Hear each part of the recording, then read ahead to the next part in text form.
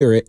Um, so yeah, Melton was really good before he got hurt. I think honestly, the only reason that they could get him is because he played 38 games. Yeah, Like, if he played a full season, That's he exactly probably would have gotten a multi-year offer from somebody. That's exactly what Rich Hoffman said yesterday uh, from PHLY Sports. He also used to work for the Athletic. He's been covering the Sixers for a long time. He said the only reason he got paid what he got paid is because he got hurt. yeah, He's like he's a good player. And I remember we remember when the Warriors played the Grizzlies that playoff series. Um, very during the com- championship season. yeah, yeah, very competitive series.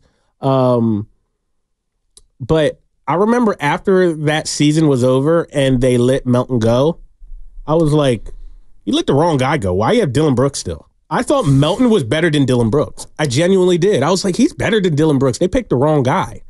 Uh, of course, they ended up scapegoating Brooks and and I think they admitted that after moving on from Brooks the year yeah, after. one hundred percent. Melton was making plays that series against the Warriors, and they would take him out, and I'm like, this coach is an idiot. Yeah. What's his name? Taylor something? Oh, Taylor shoot. Jenkins. Taylor, Jenkins. Thank you, yeah, Carter. yeah, Taylor. He- and I don't want to call the man an idiot.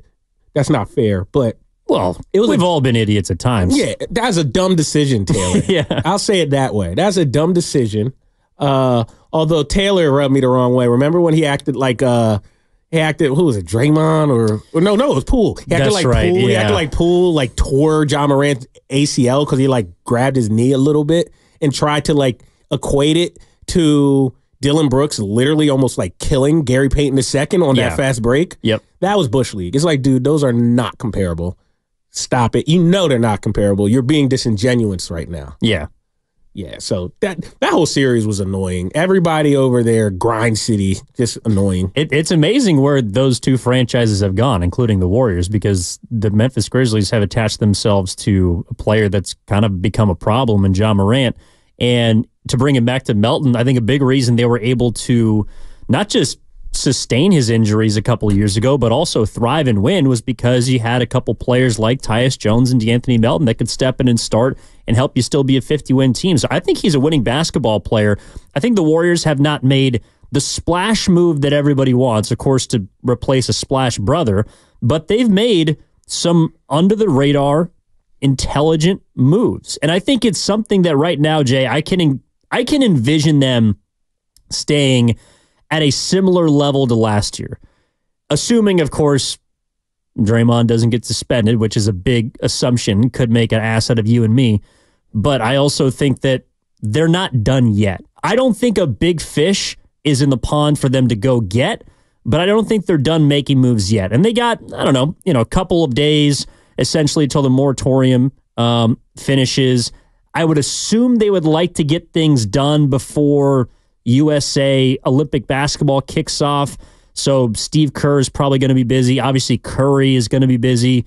Um, I'm assuming they would like to get things done soon, but I don't think that they're finished yet. 888 957 9570. Yeah, no, I don't. They can't be finished. I mean, if they're finished, that is that would be disappointing. Now, like I said, top of the hour, that top of the twelve o'clock hour, that I believe they've had a pretty good offseason, all things considered. Right now, playing within the margins. Mike Dunleavy did not have a lot to work with. Uh, he was put in a weird situation, not weird, just unideal is the word, where his boss is telling him, "Hey, we are penny pinching right now. We're in penny pinching mode." I, for the last two years, I've paid more than anybody in basketball history for two mediocre teams. I will not do that again. I refuse to do it. Can't blame the man. Yeah, good point. Can't blame the man to be honest. But in terms of what that means to this conversation, it's harder to do your job when your boss is like, dude, you got to be hella efficient. In in in a league where everybody is overpaying to get people, you have to you have to pay people what they're worth. That's just it's just It's not like easy. a Fortune 500. Hey guys, we're, we're gonna we're gonna size things back. We're gonna cut down costs. Oh, by the way, we still need the same output this year. Exactly. So I just say that to say, from Mike Dunleavy's vantage point, that's not the easiest. He also had to sift through and navigate through the emotions of a dynasty kind of coming coming to an end.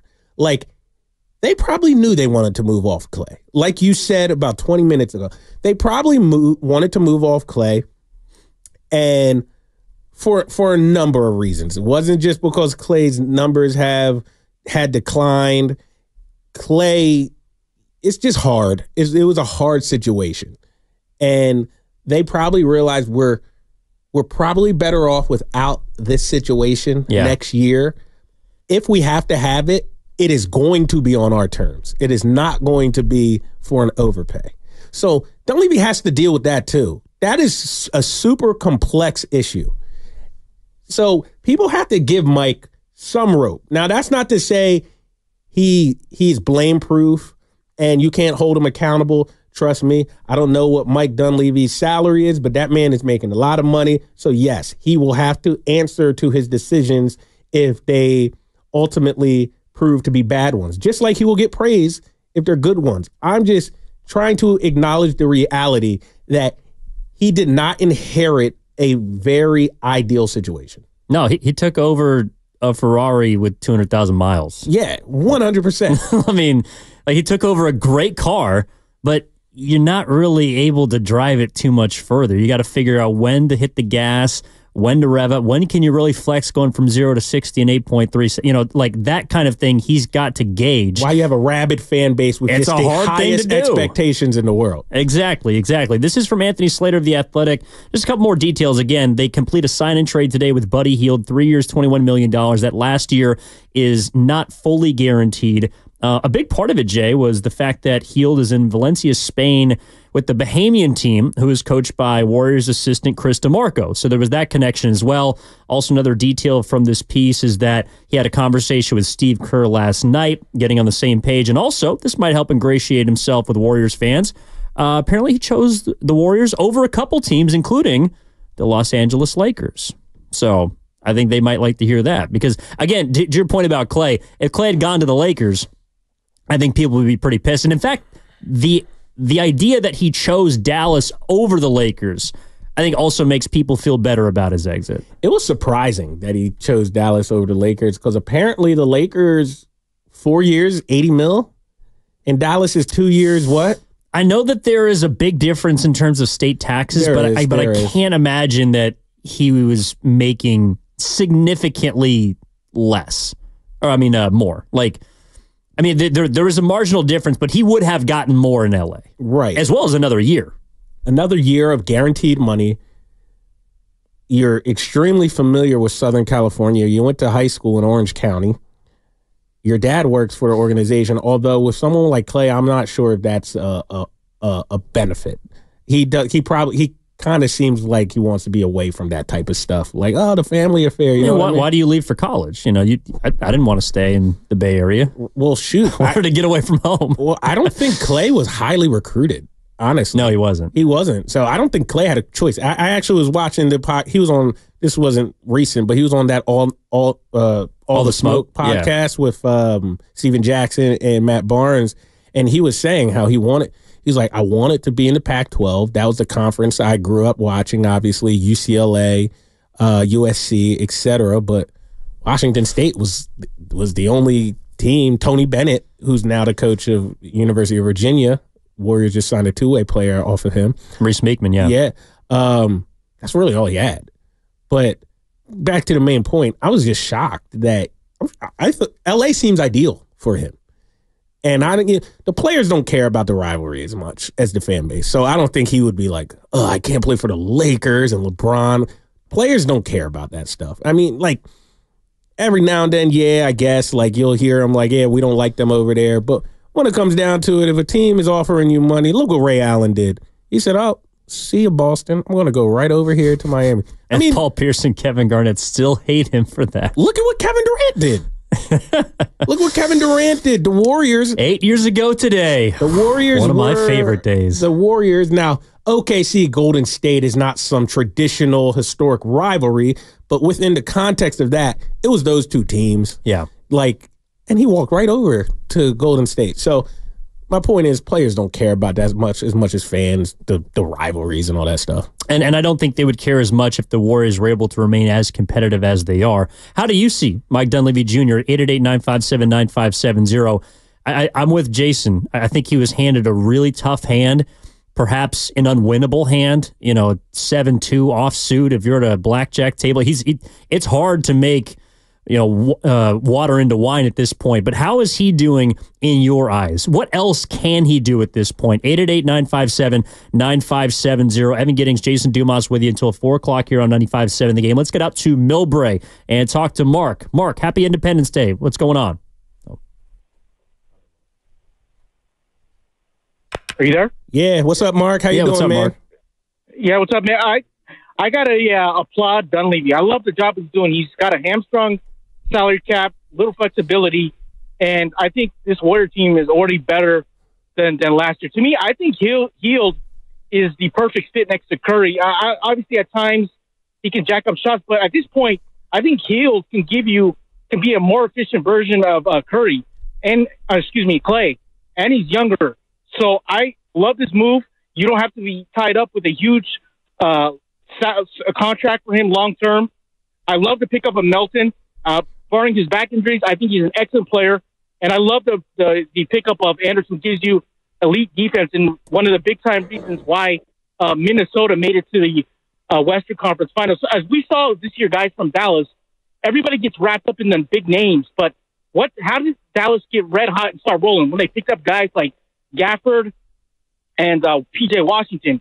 So I think it's you need depth and rotation. I don't think working with stars like to me getting Paul George. I don't think is going to work out that well for Philly because as you see, you got two injury prone guys who are older, and we know that he doesn't perform well in the playoffs, and you got little flexibility when you're paying three guys like Embiid, Maxey, and now Paul George that amount of money. So give me the depth with really good players eh, who can come in and play right away. And so I commend him. And as far as Klay goes, I think Klay let his ego and his agents uh, talk him out of it. I think that two-year, $48 million contract was more than fair because, guys, let's face it, uh, I love Klay. He's probably a $15 million a year player, and he, in the open market, didn't even get up get, get as much as a lot of the so-called expert thing.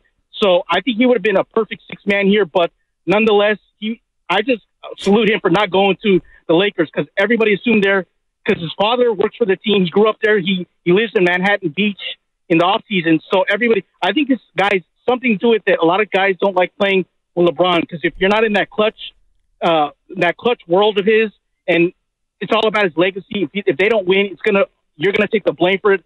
So Klay doesn't want any part of that. I think he's gonna play well in Dallas. So overall, guys, Warriors off season so far has been good. I think they're gonna make one more move. If they get Markkanen, to me, they're a top five seed in the West. I'll get your thoughts on that. Thanks for the time. Appreciate it, Mark. Great Yeah. call. I mean, A lot yeah, of good points he made. yeah, no, and, and you brought this up earlier, the fact that Dallas made a run to the finals from the five seed. You Yeah. know, so it, it is possible. Uh, this from the 203, kind of interesting. Interesting, they got a volume three point shooter from the Bahamas to replace Klay. I, Klay's I saw also that. I saw that. Yeah, that's yeah. kind of that's clever. Well, they were just together. There was uh, Yeah.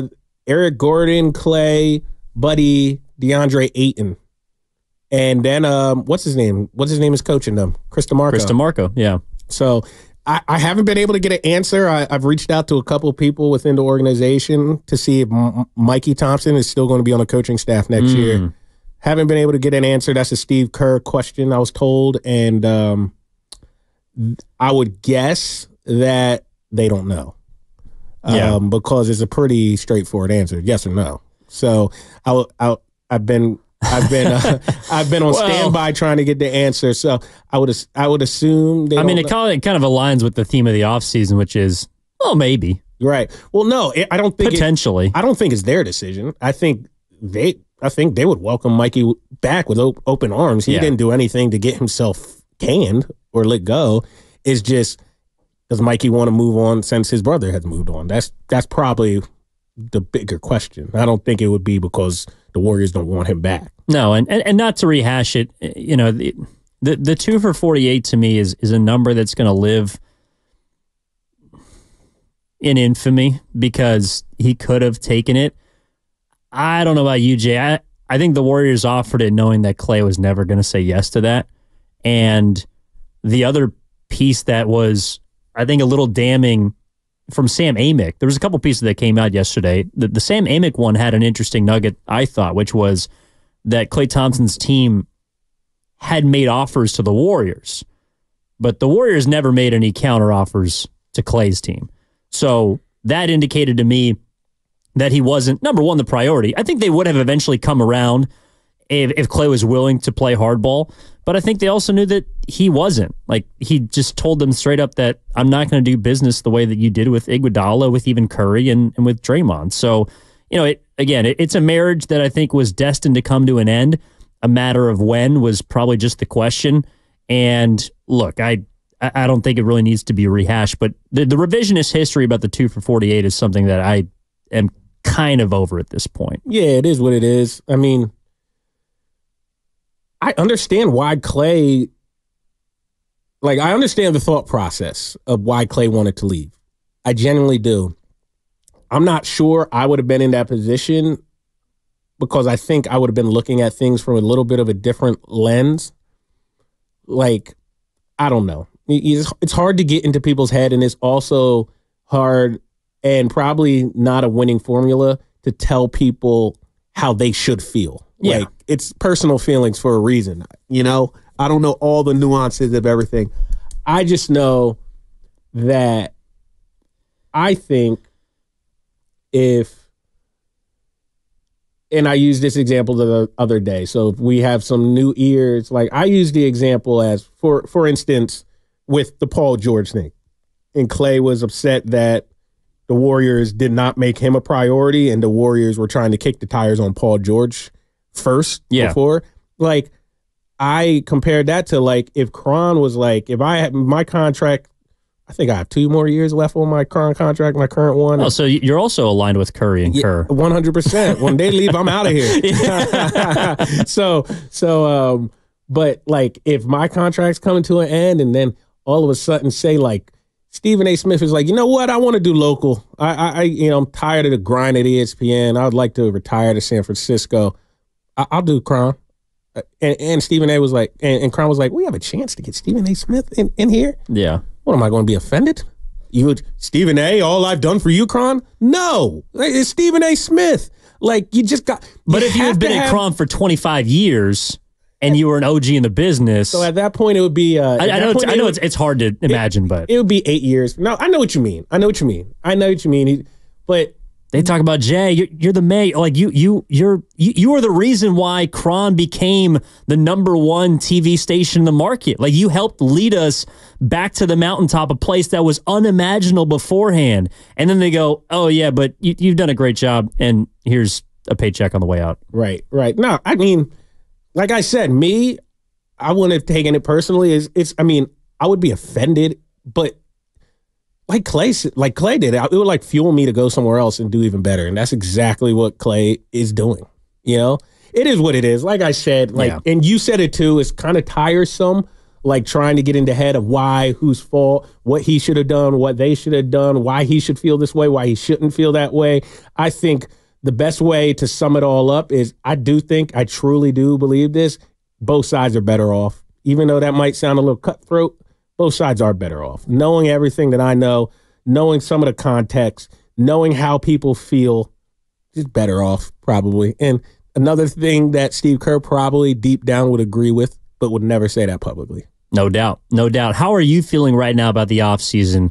because I, I, don't really want to look backwards too much more. I think everything right now is in the present. It's in front of the Golden State Warriors. How can they get this thing to where it needs to go? What kind of job has Mike Dunleavy Jr. done so far? And what can he do? Does he need to get the big fish? Is there a move around the edges? Is there something else that they can do to trim this thing to get back to the postseason? What is the goal right now? 888 957 9570. A lot of different avenues to go down. We will up until 4 o'clock here on 95.7 the game. Evan Giddings alongside Jason. Jason Dumas. And also a reminder that the California Classic is coming to Chase Center in 48 hours, starting on July 6th, a summer basketball showcase featuring 2024 NBA draft picks, second year pros, and more players. So go to Warriors.com for your tickets. All brought to you by Clean California. Remember, just one piece of litter can ruin the game. Zero litter is the goal. I see you, Mark. I see you, Eric. I see you, everyone that's on hold right now. 888 957 9570. We'll get your calls on the other side as we roll on here on 95.7.